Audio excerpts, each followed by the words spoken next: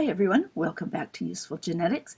This is lecture 2b, and we're going to build on our discussion of DNA replication errors in lecture 2a to talk about mutation rates, um, how often mutations arise and why, and about the consequences of mutations and introduce ideas about their evolutionary history. As we said in the previous lecture, new mutations arise rarely in part because DNA polymerase is very accurate. So we'll start with just, we're going to extrapolate think about mutation rates. Before we were thinking about error rates in DNA replication. So here's a number. In humans, from parents to child, there are about 1 to 2 times 10 to the 8th new mutations. But what I've done here is I've left off the units. So what do you think the units are here? 1 to 2 times 10 to the minus 8th new mutations per what? Per genome, per gene, per base pair? In fact, it's new mutations per base pair. This is 10 to the minus 8th is a very small number. We have many, many base pairs in our DNA. But this isn't a complete thinking of per what. This is per amount of DNA, but we also need to ask per what sort of time unit? Per year? Per generation? Per cell division, which is effectively a DNA replication? And the answer is it's 1 to 2 times 10 to the 8th new mutations per base pair per generation. Now, we can reconcile this with the numbers that we talked about in the previous lecture, in that we said there are about 10 to the minus ninth remaining errors after mismatch repair and um, DNA proofreading have done their best to eliminate the mistakes that DNA polymerase makes. So there's about 10 to the minus ninth errors per base pair per cell division, we'll say, which is the same as a DNA replication, cell division. That's a smaller number than this number. And the reason is we're now considering not a single cell division, but all the cell divisions between the fusion of eggs and sperm and the production of the next generation's egg or sperm by the adult. And that's a fairly large number of cell divisions, um, more than 20 for sure. Now, new mutations arise very rarely, we just said. In fact, very, very, very rarely. It's a very accurate process, provided the DNA that DNA polymerase is using is not damaged, as long as it's structurally normal DNA. And this is accomplished by a combination of proofreading by DNA polymerase and mismatch repair. But DNA also can get damaged, and we'll talk more about this later. Cells have evolved ways to repair DNA damage because otherwise this DNA damage would cause mutations. And the two processes, which we're not going to talk about at all, I just want to give you the names of them, are called excision repair, which cuts out damage, and recombination repair, which patches damage. Now, how many new mutations do we get? We said 1 to 2 times 10 to the minus 8th per base pair per generation. What does that mean practically? We don't think in terms of base pairs. That's about somewhere around 100 new mutations per diploid genome. And we can do the arithmetic to see that that is about what we get.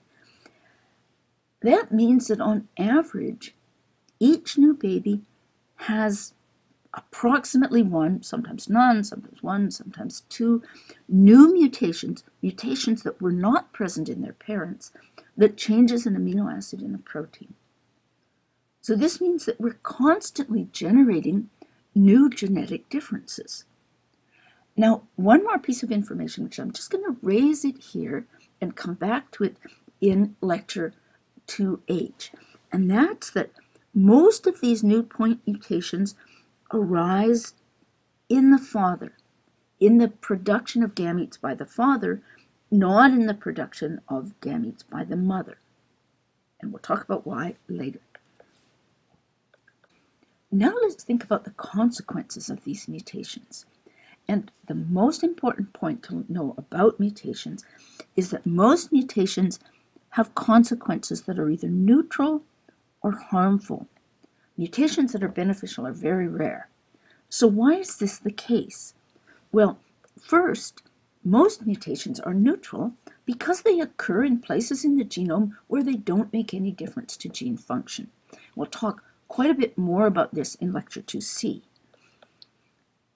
Most of the rest are harmful. Very few new mutations are beneficial. And that's because living systems, the genetic DNA sequences that specify all the properties of living systems, are very well adapted. They're the product of billions of years of natural selection for better and better function. And that means that if you make any random change, and that's what a mutation is, it's a random change, the odds that this change makes the system function better are very, very small. In the same way that a random little change to the innards of your computer is very, very unlikely to make it function better. So we can take this understanding of the functional consequences of mutations and apply that to thinking about the genetic differences that we see. Fundamentally, all of the genetic differences that we see, all of the differences, for instance, that we talked about in Module 1, they all started out as new mutations with the same spectrum of neutral, harmful, and beneficial as I just described. Natural selection then acts as a filter.